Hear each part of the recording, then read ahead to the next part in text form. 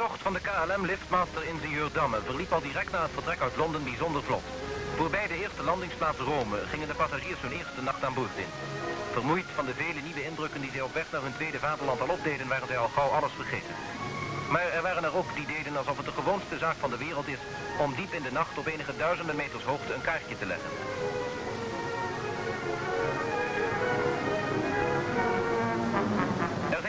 Wakker moeten blijven, zoals gezagvoerder Koper, die nu zelf op de bok zit om er met zijn mannen voor te zorgen dat de liftmaster verder op het tijdschema inloopt. Want er zijn nog twee andere kandidaten voor de eerste prijs in de handicap race. In Bagdad, de hoofdstad van Irak, is alles nog in diepe rust, behalve de ploeg verzorgers die de ingenieurdammen in recordtijd weer weghelpen. Voorbij Bagdad vliegt de liftmaster de nieuwe dag in. Iedereen rekent het zich tot een eer om op deze nieuwe dag netjes voor de dag te komen. Er is aan boord aan alles gedacht. Ook niemand van de mannelijke passagiers behoeft met een baard rond te lopen. De keuken van het vliegende hotel draait ook alweer op volle toeren en voorziet de passagiers van een ontbijt dat erin gaat als koek. Het koffieuurtje heeft nog niet geslagen of de dames die hier geen stof hoeven af te nemen en zelf geen koffie hoeven te zetten, zitten net als thuis alweer aan hun wolletjes te werken.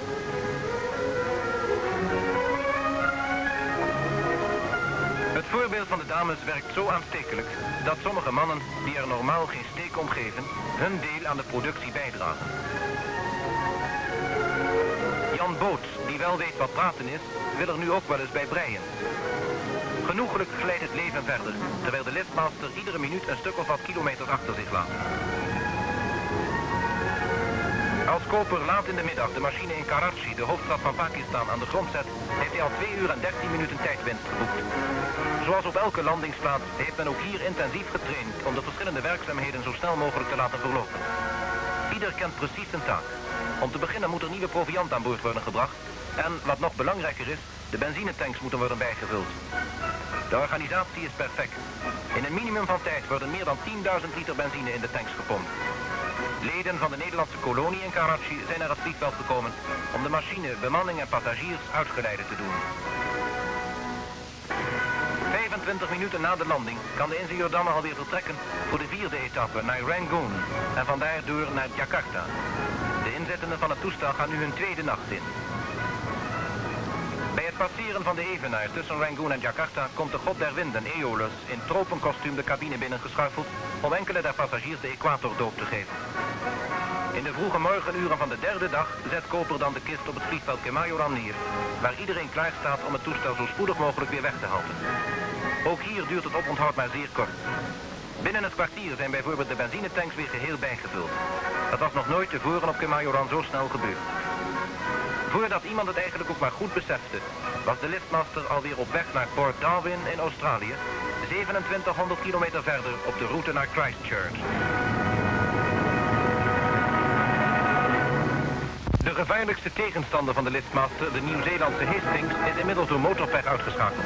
De Britse Viscount met zijn propeller turbinemotoren zit al ver vooruit boven Australië. Ergens boven de Indonesische archipel legt Dick Visser, de papieren piloot, die twee jaar cijferde om dit alles mogelijk te maken, nog eens uit dat de Viscount ondanks zijn voorsprong al lang en breed gestruikeld is over de zware handicapformule. De passagiers voelen zich volkomen thuis. Koper en de zijnen hebben voor hen al bergen werk verzet en willen zelfs niet aan rust denken voordat alles achter de rug is. Als de ingenieur Damme in Port Darwin aan de Australische westkust neerstrekt, heeft de machine het record op de afstand Londen-Darwin met maar eventjes 12,5 uur verbeterd. Tientallen Nederlandse emigranten begroeten als eerste hun landgenoten op Australische bodem. De dorstige motoren hebben weer duizenden liters benzine nodig. Bij het tanken blijven de passagiers in het toestel.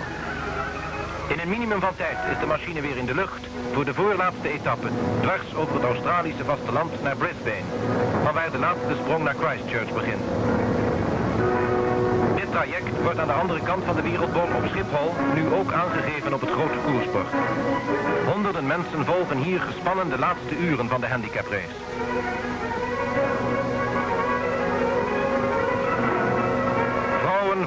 En kinderen kennen nu ook geen rust meer voordat ze weten of hun mannen en vaders de eerste prijs hebben behaald. Van uur tot uur wordt de afstand die nog moet worden afgelegd op het bord vermeld. Gezagvoerder, bemanning en machine ruiken nu de Nieuw-Zeelandse stal. Met een gemiddelde van 500 km per uur wordt er nu gevlogen. In Nieuw-Zeeland ligt ook eeuwige sneeuw. En dat is een van de vele toeristische aantrekkelijkheden van dit zeer gevarieerde land. Zo bereikt de liftmaster dan tenslotte Christchurch. In nog geen 50 uur heeft het toestel, dankzij de bekwame bemanning, dankzij de papieren piloot en dankzij de medewerking van de passagiers, de enorme afstand overbrugd. Een paar duizend mensen, waaronder een grote vertegenwoordiging van de Maori-stammen, hebben regen en kou getrotseerd om erbij te zijn. De bruidjes kunnen nog niet in de armen van hun bruidegommen vallen, want die staan op 30 kilometer afstand te mopperen bij een autobus die het niet meer doen wil. De Maori's verwelkomen de snelle vreemdelingen met een rituele begroetingsdans.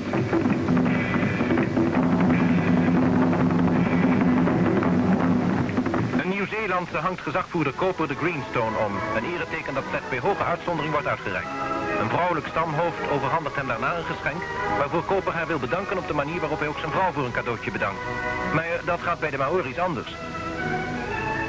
Een van Kopers mannen verkeert kennelijk nog in een stormachtige overwinningsroes.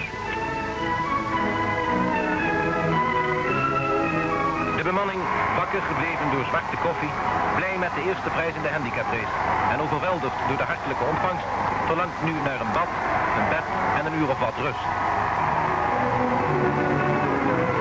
Een uur later is het bericht van de aankomst ook op Schiphol binnengekomen. Een der stamhoofden van de Vliegende Hollanders, de heer Van Balkom, wenst mevrouw Koper op Hollandse manier geluk met de overwinning van haar man.